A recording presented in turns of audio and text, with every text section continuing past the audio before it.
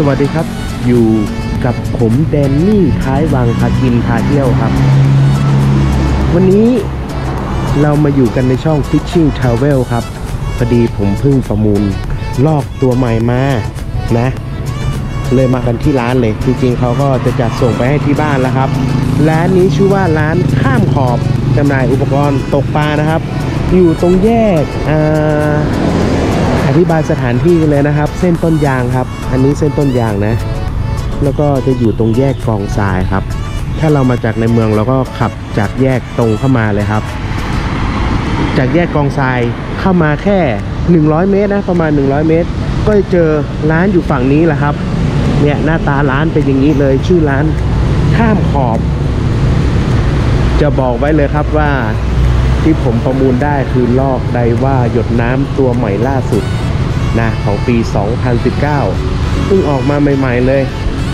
เป็นรุ่นไดว่า CC80 HL นะ เป็นหมุนซ้ายนะครับนะเรามาดู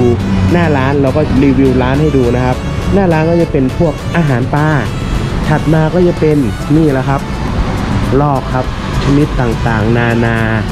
ทั้งถูกทั้งแพงราคาหลักร้อย ยันหลักพันหลักหมื่น มีหมดเลยนะ นี่ครับเป็นคัน นี่ดูเลย สวยงาม ราคาก็ตามที่เห็นเลยครับ ถ้าใครสนใจก็แวบมาร้าน อุปกรณ์ตกปลาเชียงใหม่ได้ ซึ่งร้านนี้ก็อยู่ทางเส้นสารพีนะครับ สวยงามเมื่อกี้เราก็ ขออนุญาตที่เจ้าของร้านนะครับ ถ่ายเรียบร้อยอุปกรณ์แบบเยอะมาก แล้วก็จะรีวิวให้ดูประมาณ 10 นาที แล้วก็จะพาไปดูของที่เราจะรับกันในวันนี้ตื่นเต้นมาก ประมูลได้มาอีกแล้วครับ ตัวนี้บอกไว้เลยได้มาในราคา 1,400 บาทครับ ก็มีรวมค่าจัดส่งอีก 100 ก็รวมกันเข้าไปนะ โอ้โหลอกจิ๋วตัวนี้ สวยมากพันกว่าบาทเออไม่ถึงดิอ่าน่าจะพันกว่าบาทนะ เนี่ยครับ ก็ดูกันไป เดี๋ยวเราเข้าไปดูกันในร้านเลยด้านนี้ก็จะเป็นลอกชิมาโน่รุ่นต่างๆนะครับ นี่นะครับ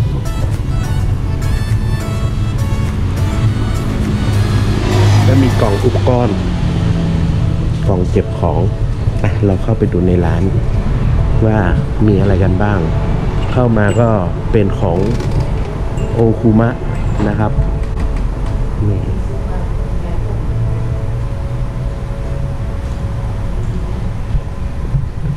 ราคาจับต้องได้ครับ ตัวนี้ไซส์เล็กนี่ดูฝ่ามือ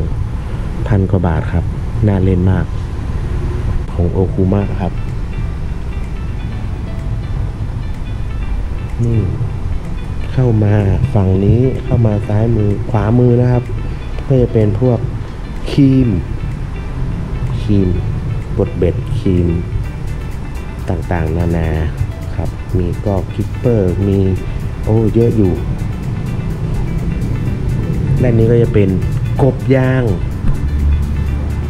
นอนยาง กบกระโดดได้นี้กบกระโดดมีหลายค่ายครับ ลองเข้ามาดูกันได้ครับ ด้านล่างนี่ก็จะเป็นเอ็นครับสายเอ็น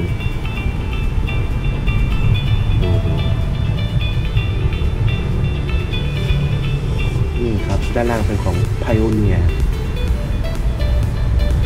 หลายอย่างมีกบเล็กกบใหญ่มีหมดนะครับ อันนี้เป็นค่ายกบตีนเตะก็จะเป็นของซูโม่นะครับ มีของฟินครับ Fin Frog นะครับ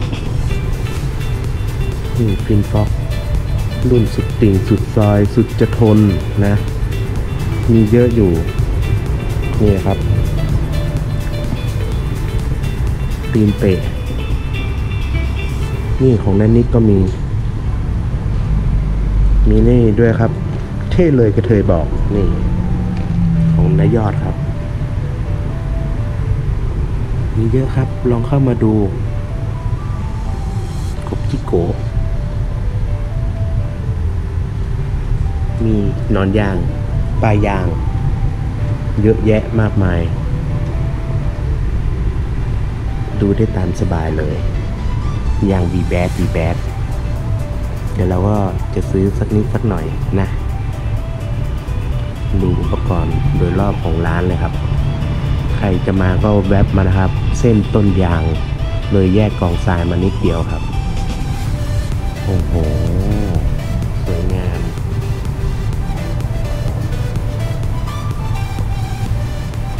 นี่อุปกรณ์แต่งก็มีผู้ยางกันสวักมีตัวสปูนด้วย นี่ก็มีของซูโม่เฮ้ยเฮ้ยอันนี้น่าสน เดี๋ยวเราต้องโดน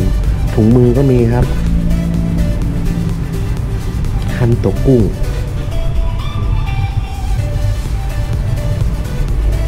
หนอนยางปลายยาง เยอะเยอะของที่นี่เยอะครับ เรามาดูด้านนี้กันต่อ ก็จะมีเป็นกลุ่มของชิงหลิวนี่นะครับชิงหลิวคันตกกุ้งทุ่น แล้วก็มีอุปกรณ์ตกแต่งนี่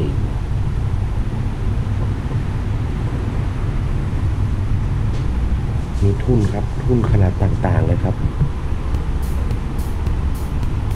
มีอุปกรณ์กล่องเก็บก็มีครับ สวัสดีครับ นี่พี่เจ้าของร้านครับ พี่กิตติมา กิตติมานะครับ นี่ที่อยู่ในเพจประมูล เมื่อวานผมประมูลในเพจอะไรนะครับ เพจประมูล เพจประมูลในกลุ่มหรือเปล่า เออในกลุ่ม กลุ่มตกปลา Fishing Thailand เนาะ Fishing Thailand ครับ นั่นแหละ มันมีหลายกลุ่ม มีหลายกลุ่มลองเข้าไปดู พิมพ์ หรือว่าติดต่อทางร้านโดยตรงเลยก็ได้นะ ถ้าใคร ไม่อยากมาประมูลนะครับ อันนี้ก็อุปกรณ์อะมาดูอุปกรณ์กันต่อ นี่ก็ชิงหลิวมีหลายราคา สนใจก็สอบถามพี่เขาได้เลยนะครับ วันนี้เรามารับสินค้าโดยตรงเลย นี่ก็มีเก้าอี้คันครับ เพียบเลยครับ ทั้งเราทั้งคัน มีทุกเวทครับ เยอะมากสินค้าเยอะมาก ดูตามนี้เราก็รีวิวไม่หมดนะครับ ใครสนใจเดี๋ยวเราจะทิ้งลิงก์ไว้ตั้งด้านล่างคำอธิบายนี่นะ description นี้นะครับ นี่ด้านนี้ก็จะเป็นสายฟูโล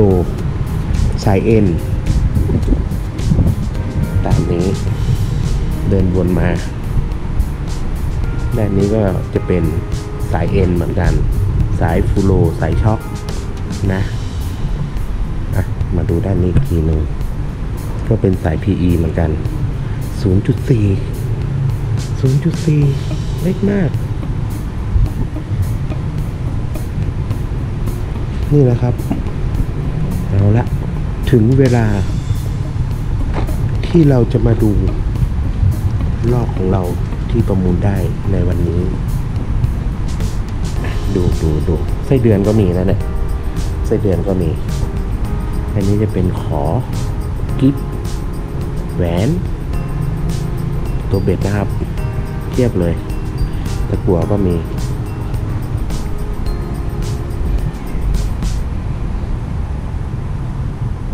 โซนนั้นน่าจะอยู่ด้านหลังอ๋อ นี่ลาพาร่า ไม่ใช่โลพาร่านะ ลาพาร่า อันนี้คืออะไรครับเพราะมันหอมกลิ่นหอม อ๋อกลิ่นหอม ผมนึกว่ามาเกี่ยวอะไรกับทุ่น ทุ่นรุ่นใหม่ ไม่ใช่นะ ไม่ใช่ นี่ครับ ก็มีทุ่น ในร้านเป็นเคาน์เตอร์อย่างนี้ ก็มีนี่แหละครับ รอบจุดน้ำมีเยอะเหมือนกันนะ ใครสนใจก็เข้ามาดูได้ครับ เลยแยกกองทรายเข้ามาทางลำพูนเนาะใช่ไหมครับไปยังหนึ่งอ่าไปยางเนิงเส้นต้นยางเลยแยกมาแค่ประมาณ 100 เมตรนะครับสิบเมตร40 เมตรเหรออ่า 40 เมตรครับ เข้ามาเลยขวามือนะเจ้าของร้านเป็นกันเองครับ มีอะไรก็ปรึกษาพี่เขาได้ของเยอะมาก มาละนี่แหละ สวยไหมสวยไหมอันนี้ที่เรารีวิวไปกันแล้ว เบอร์พันสองพันห้าสองพันจะมีสามพันนี่ดูตรงแขนครับ แขนมันจะต่างกันตรงนี้นะครับ มันจะต่างกัน เอาละแล้วของที่เราประมูลได้นั้นก็คือนี่แหละครับ CC 80 ตัวนี้หมุนขวาใช่ไหมครับ คนขวาใช่ไหมไหม H L มันต้อง L เนาะ L มันหมุนซ้าย ผมจะเอาหมุนซ้ายครับ หมุนซ้ายไหมครับแม่อันนี้หมุนขวา เดี๋ยวเรามาแกะกันดูเลย แกะได้ไหมนี่แหละที่ผมรีวิวให้ดูนะ อ่าแกะกันให้ดู เดี๋ยวเราก็จะอธิบายข้างกล่อง ให้น้านะน้องๆ พี่ๆ ได้ดู ตัวเนี้ยมันจะออกมามีรุ่น CC CR แล้วก็ CG นะครับ CG นั่นคือตัวท็อปสุด CR ก็ระดับกลางก็จะเท่าที่เห็นนะจะมีตัวตัวหน่วงเนี่ยจะเป็นสีทอง แล้วตัวตัวสปูลด้านในเนี่ยก็จะมีคลิปทองขึ้นมา ก็จะแต่งสีขึ้นมา แต่คราวเนี้ยเราจะเป็นตัวนี่ครับ CC 8 0 HL รอบมันจะอยู่ที่ นี่ครับ 6.8 นะ น้ำหนักของลอกก็จะอยู่ที่ 195 กรัม แรงดึงอยู่ที่ 7 กิโลนะครับ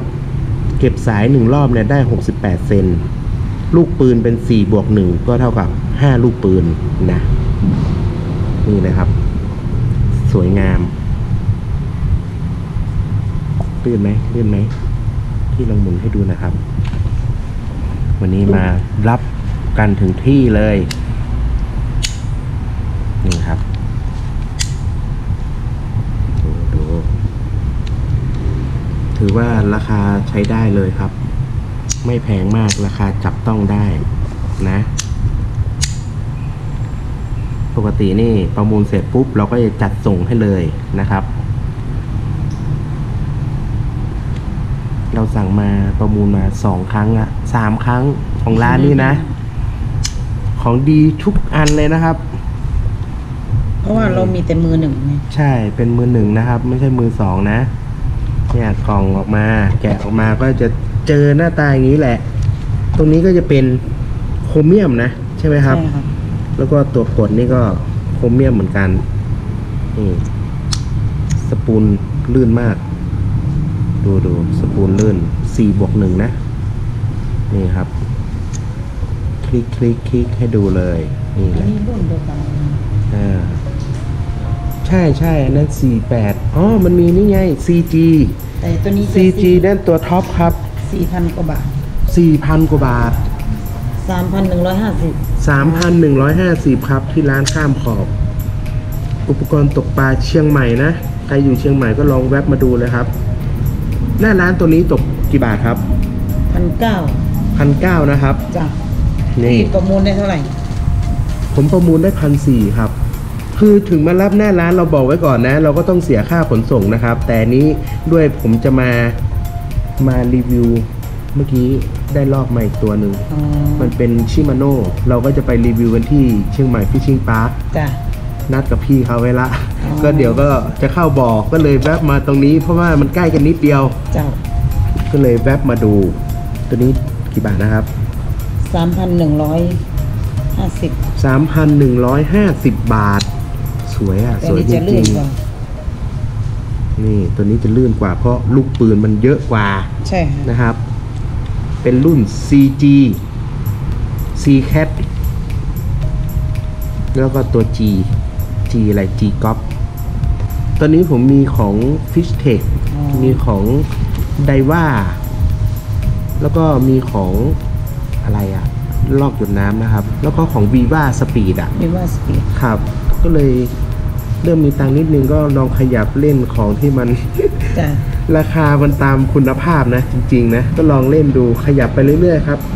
ตัวนี้ก็ถือว่าไม่ได้ใหญ่มากนะครับกำลังแบบกระทัดรัดเลย ช่อนชะโดกระพงได้ ค่ะแต่ไม่ไม่เหมาะกับลงทะเลนะครับ ไม่ไม่เหมาะอ่าใช่ลื่นมากดูลูกปืน นี่ครับ